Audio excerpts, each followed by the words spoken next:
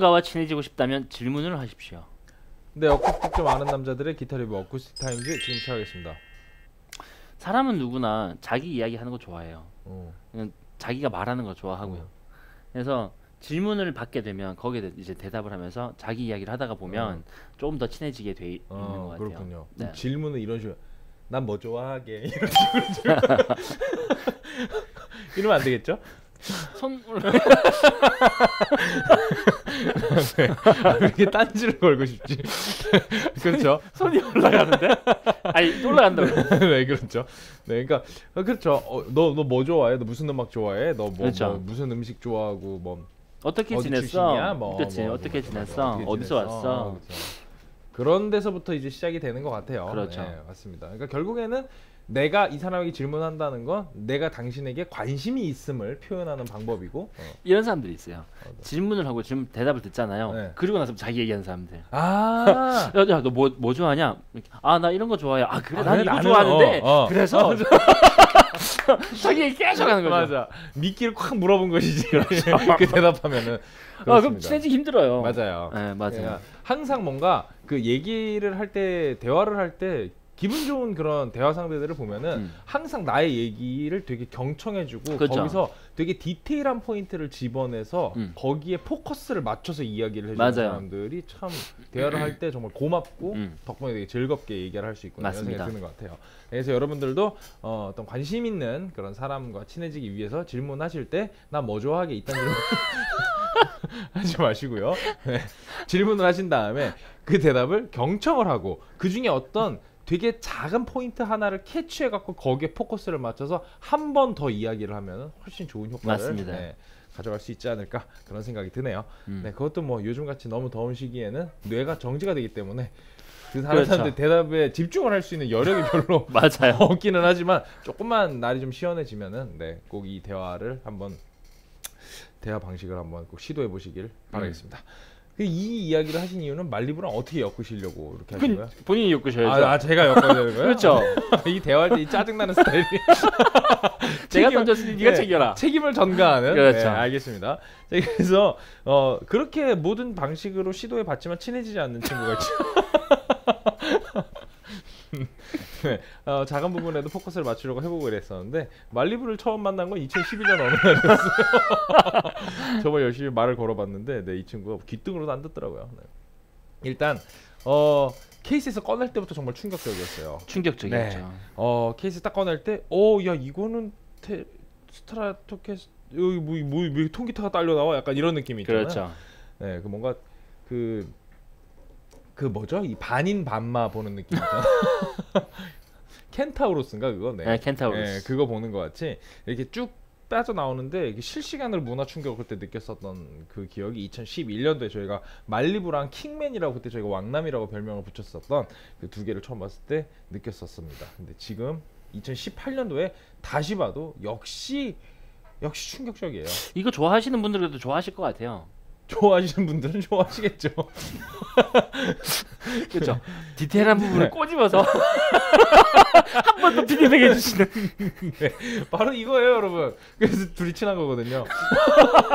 네, 이 inline headstock이 특징적인 Malibu Player입니다. 오늘은 왕남이는 오지 않았어요. 네. 왕남이는 오지 않았는데 저 다음 시간에 저 Newporter Player도 쟤도 inline이거든요. 맞아요. 만만치 않습니다. 충격이. 네, 68만 6천 원에 권소가에 54만 9천 원 할인가 가지고 있고요. made in China 101cm 전장 그리고 두께 100mm 두, 두툼합니다. 그 앞에서 보실 땐 좀 compact하게 보이는데 막상 착용해 놓고 나면은 이 거리감이 두께 때문에 꽤 있는 편이에요. 100mm 두께를 가지고 있고요. 구프레 띠둘레는 76mm. shape은 Malibu shape. 뭘 shape 이름이 다 이렇게 성의가 없어요. 아니 travel shape이라고 그러더니 이건 Malibu shape이래. 이름이 Malibu인데. 그러니까 아니 그러니까 이게 어, 뭐 어떤 사이즈로 따지면은 OM body보다 조금 더 작은 느낌의 어, 사이즈인데 4분의 3 dreadnought 정도라고 볼 수 있을 것 같은데 그냥 뭐 그런 표기는 따로 없이 travel shape, Malibu shape으로 이렇게 통칭을 해놨습니다.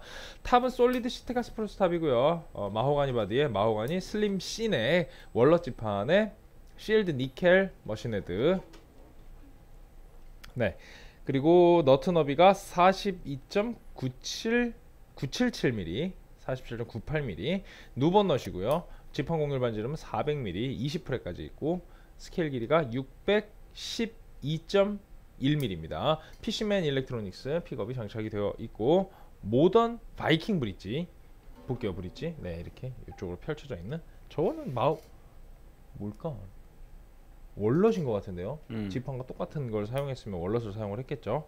네, 여기 지금 스펙표에 나와 있진 않는데 지판과 같은 무늬목인 걸로 봐서 walnut으로 추정이 됩니다.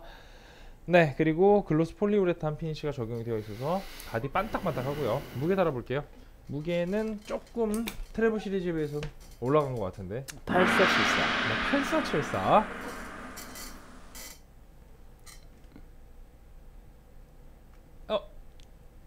4차이. 아 그러면 명음 씨가 더 네, 가깝습니다. 이겼습니다. 7 9였으면 동점 나올 뻔했는데요. 7 4차이. 8로 6차이. 어, 냉큼 가져가는 거 봐요. 네. 무게가 혹시나. 혹시나. 네. 1.78이었습니다. 네. 2승 1패. 네. 동률이 될 수도 있겠네요. 다음 시간에. 그렇죠. 네. 무승부가 될 수도 네. 있는. 사운드 들어볼게요. 사운드 들어보겠습니다.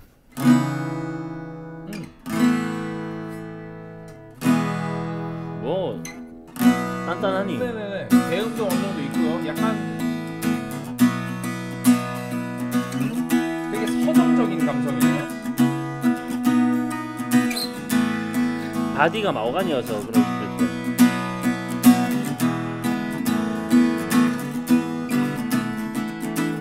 가볍네 생각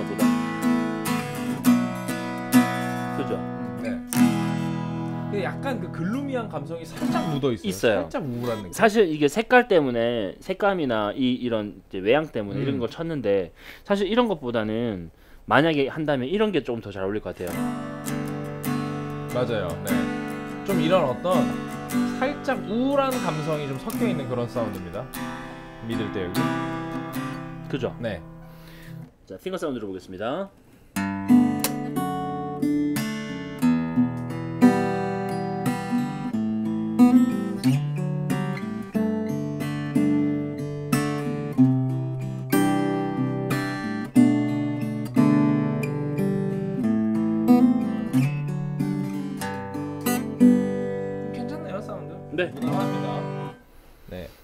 가성비로 따지면 뭐 travel 시리즈보다 훨씬 위에 있다고 볼 만한 사운드네요. 제 54만 생각도 9천 그래요. 원이니까요. 네. 자, 그러면 픽업 사운드 들어보겠습니다.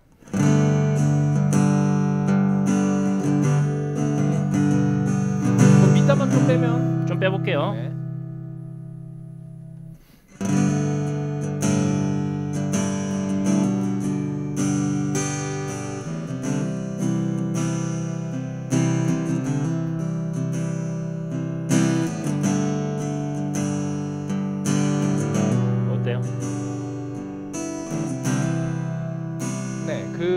말씀드렸던 그 middle 대역에 약간의 그런 우울한 감성이 있는데 배음도 충분히 있어서 뭐 자기 정체성 있는 적당한 스트로크 사운드 들려주고 있는 것 같습니다. 그런 것 같아요. 네, finger 들어볼게요. finger 사운드 들어보겠습니다.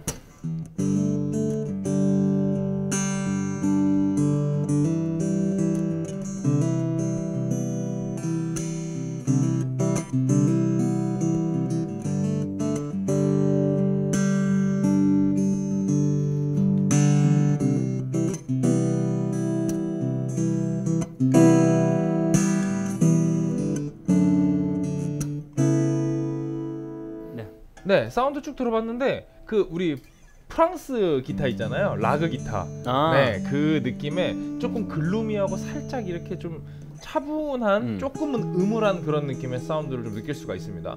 이 헤드랑 이런 디자인 때문에 뭔가 그러지 않을 것 같은 선입견이 있는데 가만히 디자인 생각 안 하고 사운드만 들어보면은 조금 그쪽의 그런 느낌이 있어요. 그렇네요. 네, 차분한 사운드입니다. 말리부. 음, 생각보다 그렇습니다. 말리부가 그 캘리포니아 해안 그쪽 동네죠. 음. 그 아이언맨 보면은 그 토니 네, 스타크 집 네. 있는데 해안가 네, 이렇게 와, 붙어 있는 그 거기. 거기가 말리부죠. 그렇습니다. 말리부 플레이어 이렇게 사운드 쭉 들어봤고요. 어떤 거 들려주실 건가요? 네, 요거는 여름밤 소나기 들려드리겠습니다. 여름밤 소나기 듣고 오겠습니다. 뿅.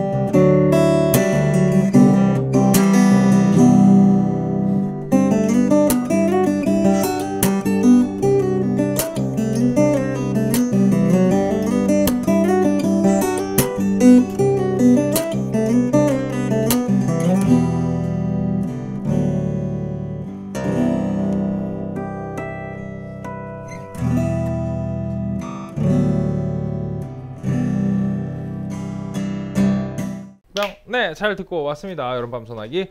어 전체적으로 사운드가 차분해서 오히려 음. 선곡에 잘 어울리는 네, 그런 사운드를 들려줬습니다. 시청자 연주 하나 드릴게요. 570화의 야마하 어쿠스틱 기타 A4K limited koa 어, 목 사용한 모델이었는데요. 여기에 주침야컴님 아침에 자고 밤에 컴퓨터를 하시는 주침야컴 네. 기본 날쿠 스틱 톤 하나만으로도 돈값을 하고도 남네요. 문제는 역시 앰프 톤인데 음, 나쁘지 않은데 참 아쉽네요.